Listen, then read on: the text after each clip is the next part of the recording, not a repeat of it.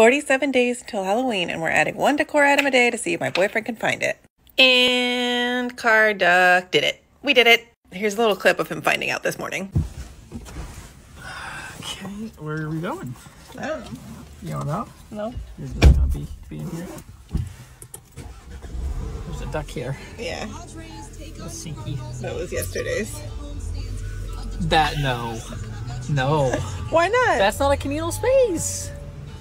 I said, said no. Outside asked you- decorations count. I no, I asked you so many questions What? about where you could play the game, the areas of the house. It has to be within the home.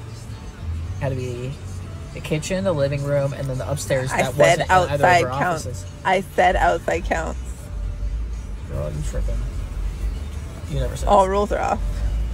I, I can be anywhere. I need to go to the office here, ma'am. So Take your little duck with you. No, get stop. Take your duck. Take your duck. I'll admit that one was a little mean, but it's okay. And even though I still feel like Gordon, we're gonna go hide something new. I do kind of like this alternating back and forth between ducks and something else. So I think we're either gonna do picture ghost or what's in this mystery box. Picture ghost, mystery box, picture mystery box. Now, this is something that I already have put out a bunch of them, but this is a new one, so it counts different. If I can get it out of the ding, hold on. Are you ready for this? I don't think you're ready for this. Look how cute! I love him so much. Let's go add him to the mug tree.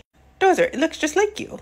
Now, the question is will he notice that there is a new mug out? I don't think so. I think we're safe. He was pretty darn upset about uh, Spooky Duck yesterday, so we got to give him an easy one. Isn't that right, Dozer?